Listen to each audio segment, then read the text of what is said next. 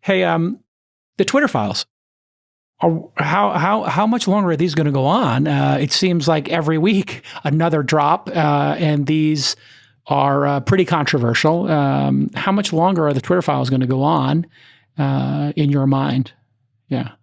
And maybe why is this important to you to, to make sure that people understand the stuff? Yeah. I think it's important to, like, you know, if, if we're going to be trusted in the future to kind of clear the decks for stuff that's happened in the past. So, um, I mean, to be totally frank, um, almost every conspiracy theory that people had about Twitter turned out to be true.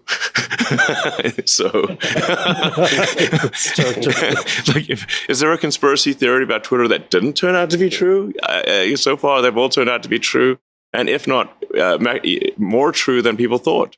Is there a part of the files that really shocked you more than the rest of them? Like of the things that have been disclosed, of all of these things, is there something that really sticks out with you as like, holy shit, I had no idea this was happening?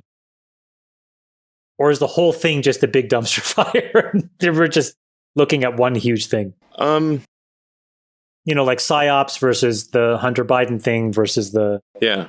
The number of FBI people involved that was the pretty FBI shocking. stuff is pretty intense. Yeah, the yeah. FBI psyop stuff to me was probably the one that was the most insidious. Like the rest of it, I could think of like you know a bunch of overzealous libs got used.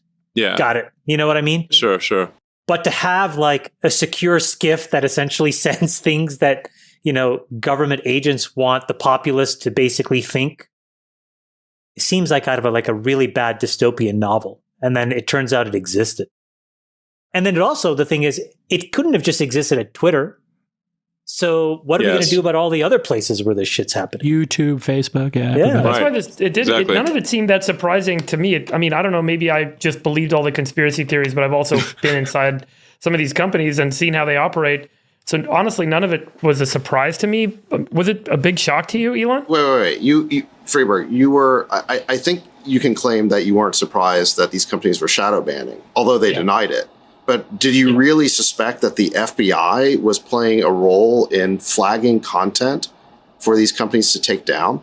Like yeah. that blew me away. But content yeah. that's got nothing to do with like terrorism. Yeah, they're not investigating crimes. Like there's no crime. Right. Yeah, they literally flagged satire. Maybe they didn't get the joke. I don't know, but uh, they don't seem to be a humor-driven uh, group, but um, they don't seem to have the best senses of humor. But aren't they supposed to get warrants? Isn't that how it's supposed to work in a democracy? They want they're information ask, they're about asking users favors of their file. friends. Yeah, they're all Th- friends. That's the thing that's troubling to me. Put, put yourself on either side of the extremes. Hey, we, we have Michael Shellenberger here who broke the FBI story in the Twitter files. So uh, oh, let's flip okay. it to him and to see okay. he can because I think maybe the audience isn't caught up on like what was discovered. So you now, I, now I have you? to follow Elon Musk. That doesn't seem fair. yeah. Hey guys. hey Michael. I head back to work. So all right. All right. Thanks guys. See you later, Elon. Thank you for stopping. Hey guys. Oh, hey Michael. How are you? Uh, I'm good.